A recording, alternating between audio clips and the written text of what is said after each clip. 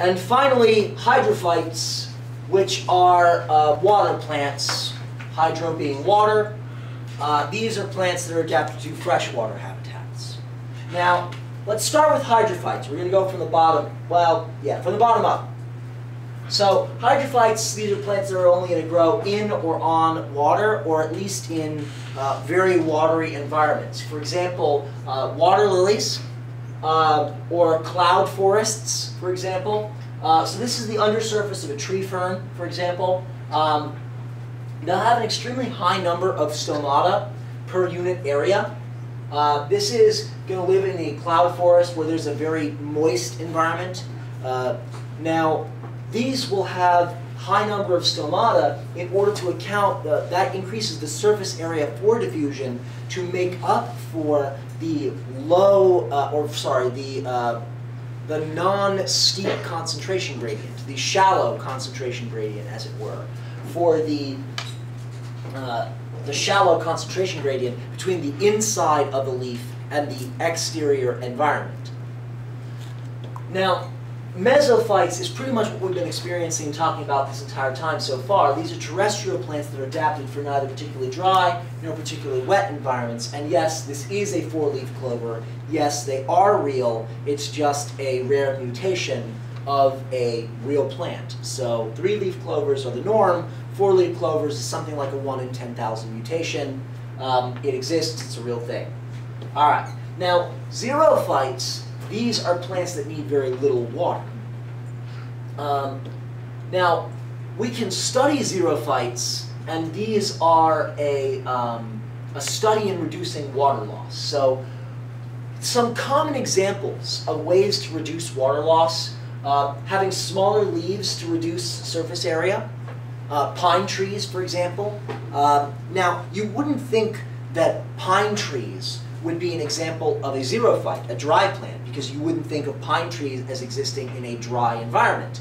But then again, snow is not exactly readily available water. It's frozen. So that means that that's water that you just have to let go. So uh, now,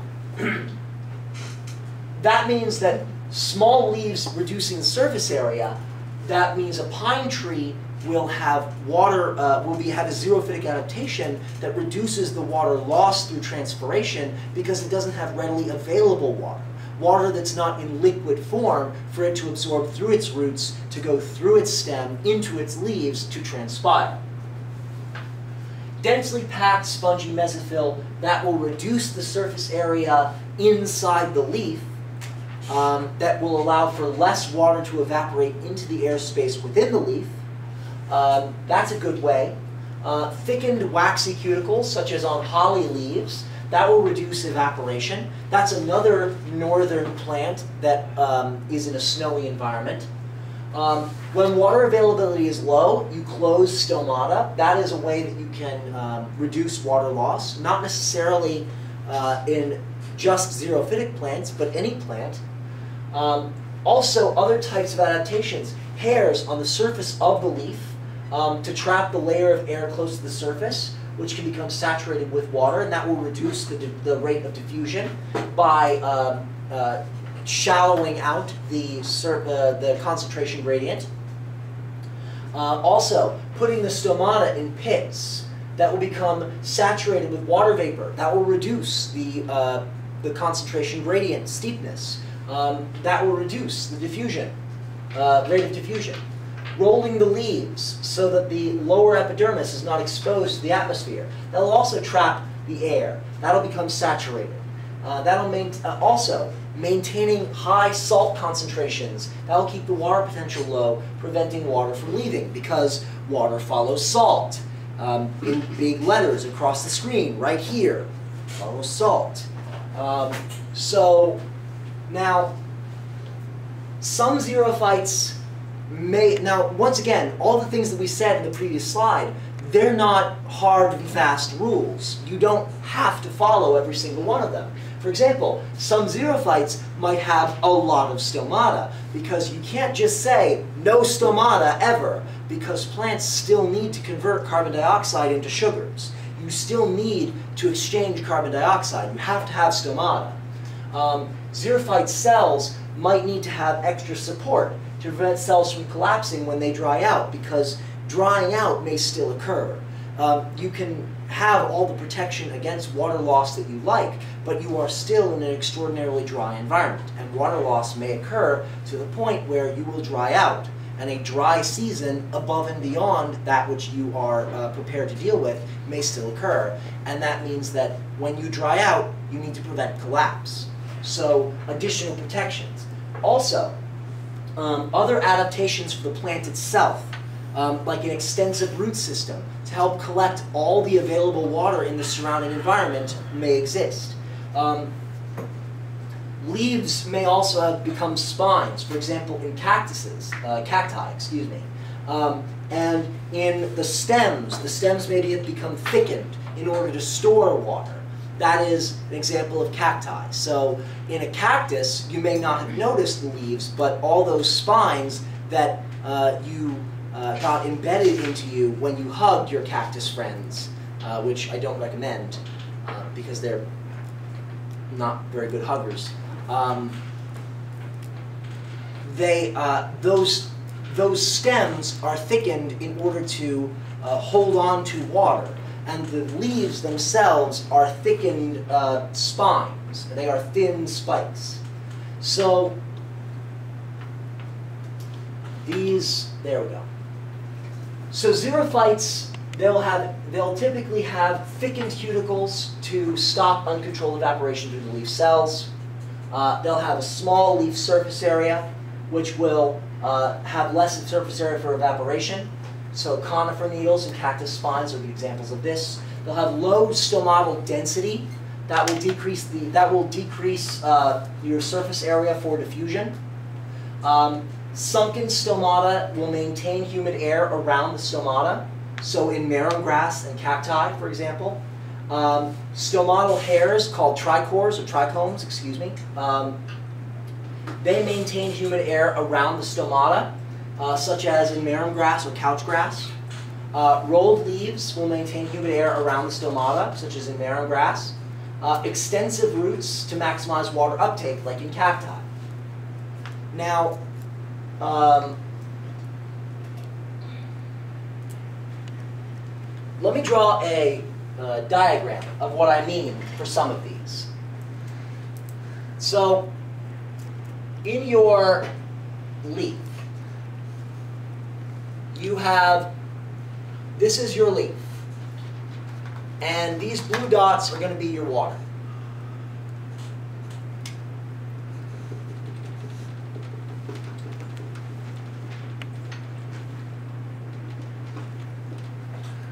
To prevent your water from escaping through the top of the leaf, you're going to want a thickened cuticle.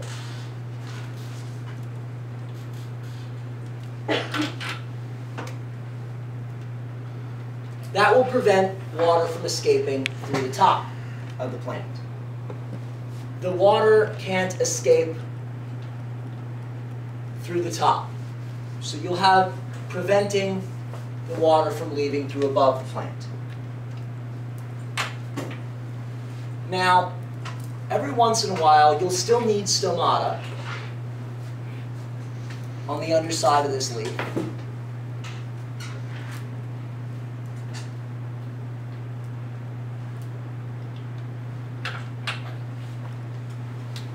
And so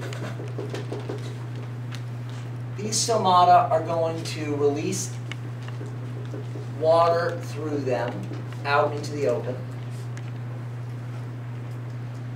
But what if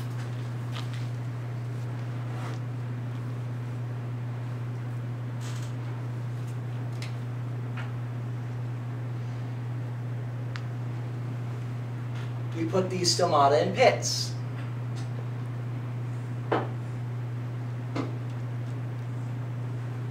Now all of a sudden, these pitted stomata now have a concentration a lot of dots here and a lot of dots here.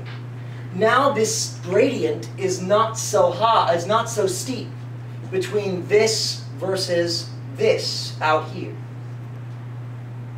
Now the movement of water vapor is not going to be as fast out of the leaf and into this space. It's the same idea as putting hairs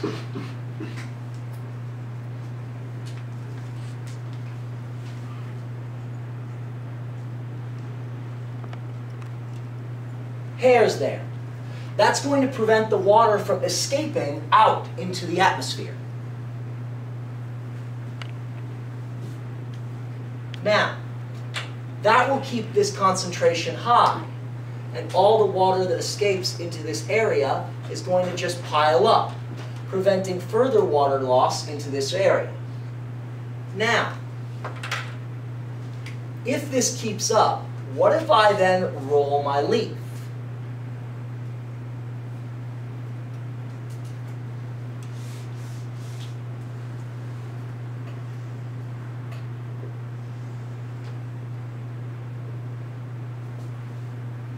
If I roll my leaf, then any of the water molecules that get out are still going to be trapped inside and still can't get out to the atmosphere out here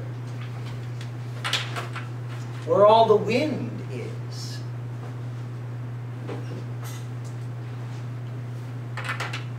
So I still have a, a shallow concentration gradient inside this leaf. I maintain a shallow concentration gradient, and all the water stays inside this leaf, is prevented from leaving.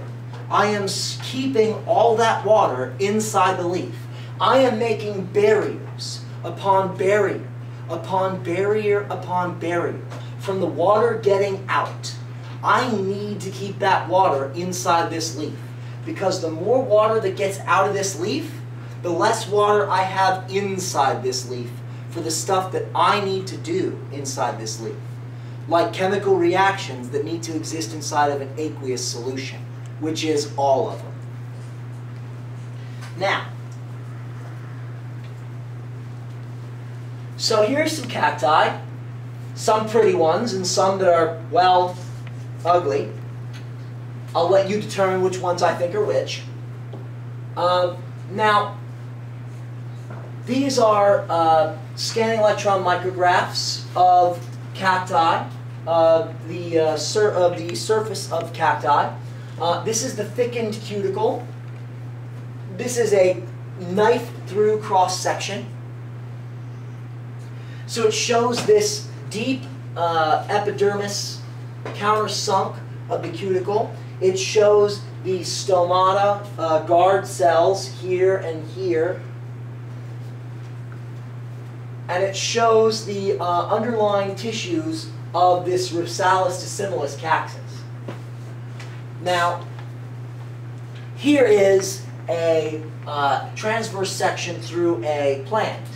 This is showing us this sunken pit and these trichome hairs, trichome with an M. So these hairs are preventing the evaporation of water from, uh, are preventing the, uh, this escape of water vapor after it has exited through these uh, stomata from the air spaces here. Now we have multiple upper epidermal layers, this hypodermis layer. A thickened hypodermis is another adaptation of xerophytes that, prevent, that prevents water loss thickened epidermis and uh, multiple layers of epidermis and multiple layers of hypodermis um, is another adaptation. And it just increases the distance that water needs to travel in order to escape through any other route besides the stomata. Now, marram grass is a common example used by Cambridge. Um, British marram grass uh, and when it's dry outside, the leaves roll up so that the stomata will only open to an enclosed space. and water vapor will accumulate into this space, which reduces the diffusion gradient. The spines will increase the width of the boundary layer, uh, and that will, um, and this is effectively mutated Pac-Man. So our leaf is rolled up, and this traps the air inside the leaf. We have trichome hairs here. We have a thickened epidermis a thickened hypodermis. We have uh, vascular bundles throughout here. We have a low density of stomata. We have a thickened cuticle all around here. Uh, we have a whole bunch of other adaptations that reduce the surface area, uh, sorry, that reduce the, uh, um, sorry, the stomata being sunken in pits that reduce the water potential gradient, water vapor potential gradient. So here is marram grass in its natural habitat more marram grass, a close-up of marram grass, which looks, well, like a death metal band cover, album cover. Um, more death metal album covers, um, more mutated Pac-Man. Um, all right, now, let's move on back to a discussion about the movement of sugars in a plant. So we're going to talk now about translocation. So translocation is the movement of assimilates. Assimilates being the things that are going to become assimilated into the plant. So a source is a part of the plant that releases sucrose to the phloem, uh, and the example, the best example is the leaf. The sink is the part of the plant that removes the sucrose from the phloem. A root is the best example thereof. So translocation is always going to occur from source to sink. Phloem will always move, um, assimilates from source to sink. Now, this is a pretty picture example of source to companion cell to phloem to companion cell to sink. Now, leaf and root are our most common examples, but there are other examples of sinks. Um, and uh, the source is not always a leaf. Sometimes during the uh, during the uh, post-winter season, um, when plants need to regrow from their dead parts, from their uh, when they've died down to the roots, they need to regrow from whatever was left behind. So they've